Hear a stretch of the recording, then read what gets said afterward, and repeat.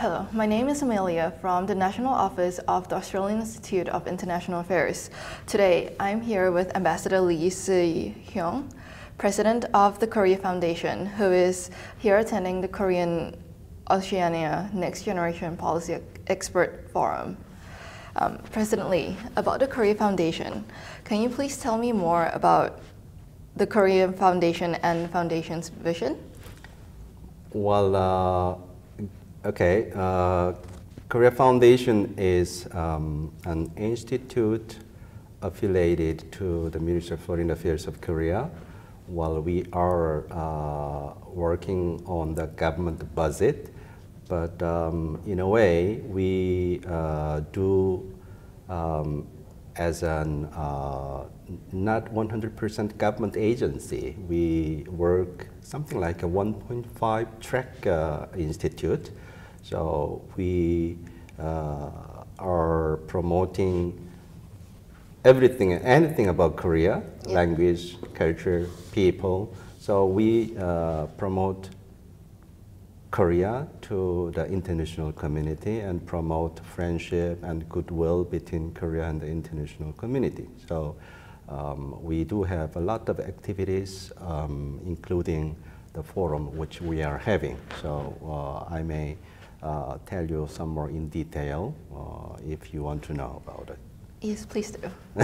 okay.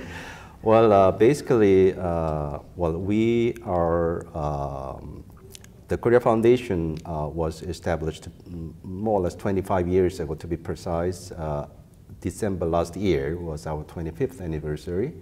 During the last 25 years, um, we have been uh, working on uh, three pillars. We, uh, what we have done and we are doing are um, uh, basically in three categories. The first one is um, supporting Korean studies abroad. Korean study uh, meaning, um, say, uh, lecture in the universities, overseas universities out of Korea about uh, Korean literature, culture, language, people, uh, social science, and any type of studies on, on Korea. So we are supporting professorship. We are dispatching uh, visiting professors.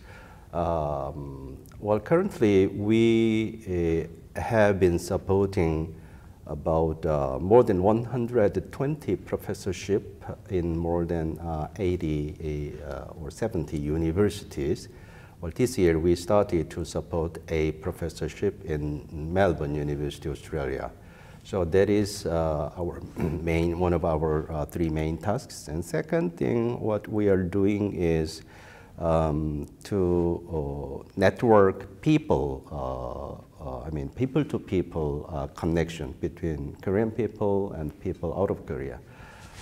so we invite um, opinion leaders of other countries, and we are inviting uh, young people from uh, neighboring countries and others. And uh, we do the bilateral forums with major partner countries to exchange views on Korean situation, on the uh, Northeast Asian uh, issues and global issues. And uh, among those forums, this type of uh, uh, forum for young generation has specific uh, uh, attention from abroad because it is uh, specifically for young people.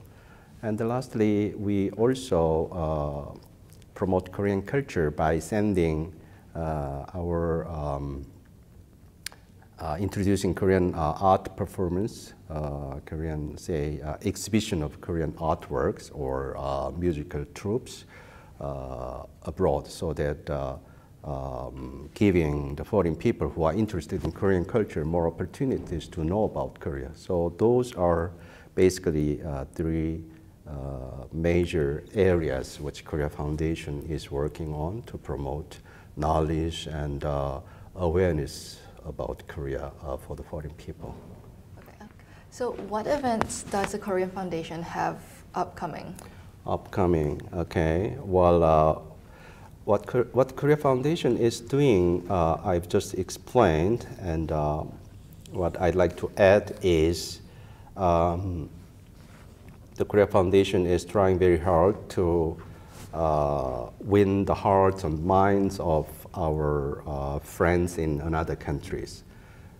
Um, specifically, uh, I myself would like to get more understanding on the situation on Korean Peninsula.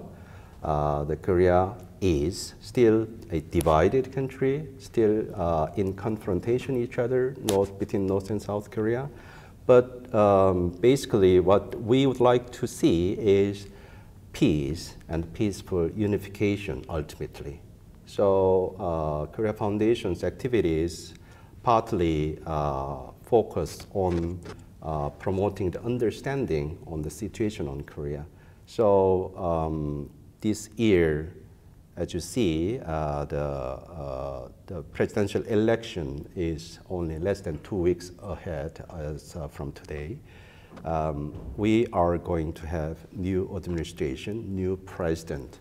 And once new government, new administration is installed, I think um, the Korea Foundation needs to um, um, to promote the uh, diplomatic uh, policy lines, foreign policy lines, and uh, domestic policies and policies vis-a-vis North Korea, all those type of new policies, policy of the new administration uh, to be introduced to the major partner countries. So uh, in that sense, not only the government itself, but uh, Korea Foundation uh, has also uh, some role to play to introduce the new government's policy lines to the foreign uh, countries. That is a very important issue of this year. Okay.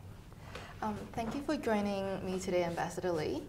For more information about the Australian Institute of International Affairs, please visit internationalaffairs.org.au or follow us on Facebook and Twitter. Thank you. Thank you.